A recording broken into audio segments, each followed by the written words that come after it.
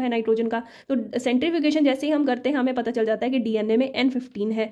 अब यही वाला सेल जो है, ये हमने ट्रांसफ़र कर दिया एक ऐसे मीडियम में जिसमें नॉर्मल वाला अमोनियम क्लोराइड था, यानी एन फोर्टीन वाला आइसोटोप था। उसके बाद हमने देखा कि जब वो डिवाइस डिवाइड करा डिवीज़न हुई आफ्टर ट्वेंटी मिनट या आफ्टर फोर्टी मिनट तो उसमें कुछ चेंजेस आए। वो चेंजेस क्या थे? ये चेंजेस थे एन फिफ्टीन वाला जो डीएनए था वो वाला जो आइसोटोप था आफ्टर ट्वेंटी मिनट उसने, अब ये पेरेंट स्ट्रैंड है दो, इन्होंने दो नए हाइब्रिड वाला जो, ये देखिए, दो नए स्ट्रैंड बनाए। तो यहाँ पे हाइब्रिड डीएनए जो है बना, जिसकी इंटरमीडिएट डेंसिटी थी, जिसकी जनरेशन है वन लेकिन जैसे फोर्टी मिनट के बाद हमने देखा कि क्या चेंजेस आए तो सेकेंड जनरेशन में हमने देखा कि equal amount of hybrid DNA बना इक्वल अमाउंट ऑफ़ नया लाइट डीएनए जो है वो बना था। तो यहाँ पे हमने देखा कि अभी भी एक पेरेंट स्ट्रैंड है, एक न्यू स्ट्रैंड है।